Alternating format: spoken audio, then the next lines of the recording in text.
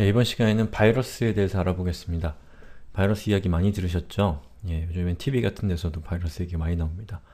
바이러스는 컴퓨터에 몰래 침입해서 나쁜 짓을 하는 이 작은 프로그램을 이야기합니다. 예, 이건 역시 인간이 만든 프로그램이고 이제 은밀하게 활동하면서 뭐 개인정보를 빼내서 유포자에게 전송을 하거나 아니면 감염된 컴퓨터를 이용해서 나쁜 짓을 하기도 해요. 또 컴퓨터를 망가뜨리기도 하고요.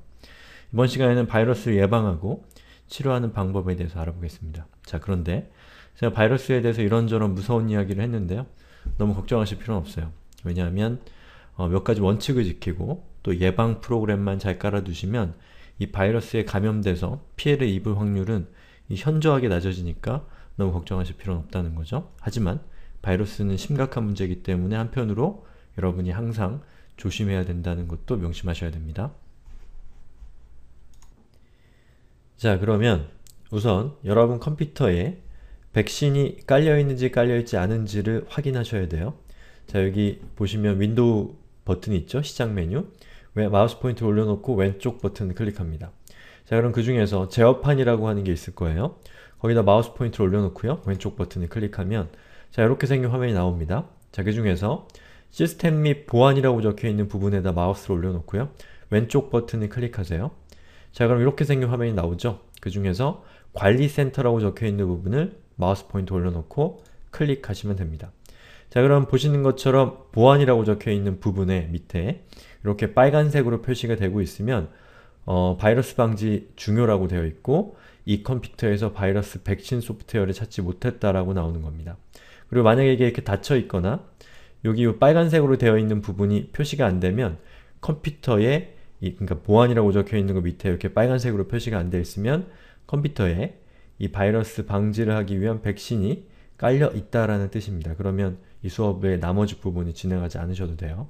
어, 그리고 만약에 이 빨간색으로 표시가 되면 여러분의 컴퓨터에 바이러스 백신이 깔려있지 않다는 얘기고 백신을 까셔야 되는 겁니다. 아시겠죠? 자 그러면 어, 백신을 까는 방법에 대해서 이제 알아보죠. 자, 컴퓨터 바이러스 이야기할 때 역시 가장 중요한 것은 이 백신이라고 하는 거예요. 백신. 제가 이렇게 적어놨죠? 백신이라고요. 자, 백신은 우리 현실 세계에서도 백신이라는 말을 써요. 보통 병원에서. 그래서 예방접종 같은 거 맞잖아요? 그 주사를 백신이라고 보통 부르죠. 그래서 어떤 바이러스를 예방하거나 또는 치료를 하는 역할을 하는 것이 바로 백신인데요. 이 컴퓨터에서도 이 소프트웨어적으로 만든 이 바이러스, 이 바이러스를 차단하고 또 감염된 바이러스를 치료하는 역할을 하는 프로그램을 백신이라고 부릅니다. 예. 여러분들 안철수 씨 아시죠? 예, 그분이 만든 프로그램이 바로 이 백신이죠. 자 여기 바이러스 예방의 몇 가지 중요한 원칙들을 제가 설명해 놨는데요. 자, 첫 번째, 신뢰할 수 없는 프로그램은 절대로 절대로 설치하시면 안 됩니다. 예. 여기서 신뢰할 수 없다는 건 뭐냐면 예를 들면 여러분이 이메일을 받았어요. 근데 그 이메일 안에 막 온갖 미사역으로 동원해서 이 프로그램이 짱이다 라고 적어 놓은 거죠. 그러, 거기서 클릭해서 들어가서 그 프로그램을 설치하면 그거는 한 90%는 바이러스에 검, 감염된다라고 생각하시면 됩니다. 예, 바, 어떤 프로그램을 설치할 때 어, 여러분이 믿을 수 있고 정황상 이거는 충분히 안전한 프로그램이다 라고 생각할 수 있는 것들만 설치를 하셔야 돼요. 그렇기 때문에 이 정황이라고 하는 건 대단히 주관적인 가치이기 때문에 여러분들이 처음 컴퓨터를 배우는 입장에서는 이 정황을 따지는 게 쉽지가 않습니다. 그러니까 그런 경우에는 여러분 지인들이 추천하는 프로그램이나 아니면 이 효도 코딩에서 이 추천해드리는 프로그램 또는 뭐 구매하신 프로그램들 이런 것들을 제외하고는 그 어떤 것도 까시면 안됩니다. 그리고 여러분들이 이 컴퓨터를 어, 에 대한 경험을 쌓아가다 보면 점점 그런 감이 생기겠죠? 아 요거 이 정도 믿을 수 있을 것 같아. 이거, 이거는 못 믿어. 그런 감이 생기면 그때부터 이제 조금씩 더 많은 프로그램들을 설치할 수 있게 되는 거니까요. 지금 처음 컴퓨터를 한 입장에서는 신뢰할 수 없는 컴퓨터는 무조건 설치하지 않으셔야 됩니다. 아시겠죠? 제가 다시 한번 강조드리는데 신뢰할 수 없는 프로그램은 절대로 설치하시면 안됩니다. 아시겠죠?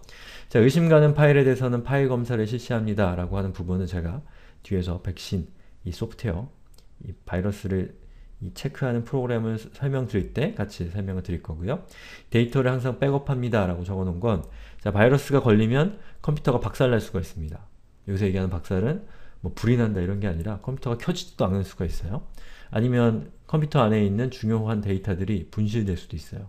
그렇기 때문에 이 데이터를 항상 안전한 곳에다가 대피시켜 놓으셔야 됩니다. 그런 것을 백업이라고 부르거든요. 자, 효도 코딩의 요 뒤에 링크가 있는데요. 효도 코딩의 수업 중에 이 링크를 클릭해서 들어가 보시면 자, 다음 클라우드라고 하는 수업이 있어요. 이 수업을 통해서 이 수업을 보시면 여러분이 여러분 컴퓨터 안에 있는 저장 장치에 들어가 있는 여러 가지 데이터들을 어, 거의 실시간으로 인터넷상으로 전송해서 인터넷에다 보관할 수 있는 방법이 나와 있습니다. 저걸 참조하시면 도움이 될 거예요.